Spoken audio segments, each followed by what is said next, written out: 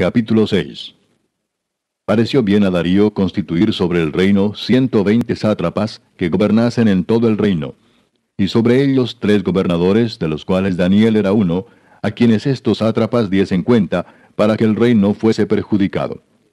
Pero Daniel mismo era superior a estos sátrapas y gobernadores, porque había en él un espíritu superior, y el rey pensó en ponerlo sobre todo el reino.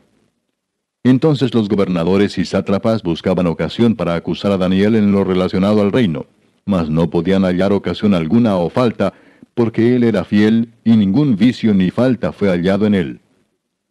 Entonces dijeron aquellos hombres, no hallaremos contra este Daniel ocasión alguna para acusarle, si no la hallamos contra él en relación con la ley de su Dios.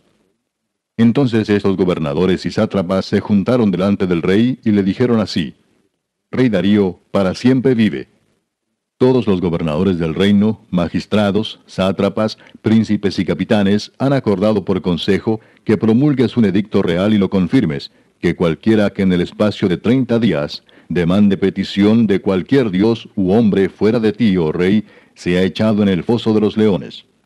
Ahora, oh rey, confirme el edicto y fírmalo, para que no pueda ser revocado conforme a la ley de Media y de Persia, la cual no puede ser abrogada. Firmó pues el rey Darío el edicto y la prohibición.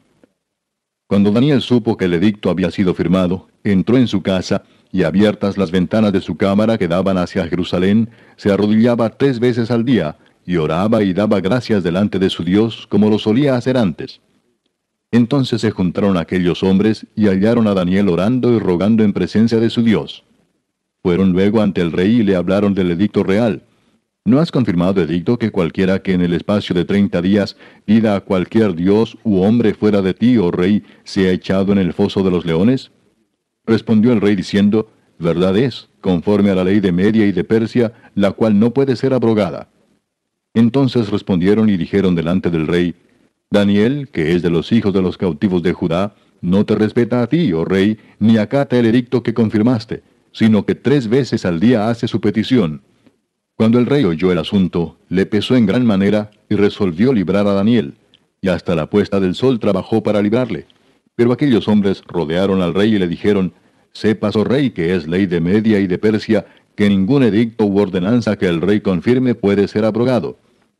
Entonces el rey mandó y trajeron a Daniel, y le echaron en el foso de los leones.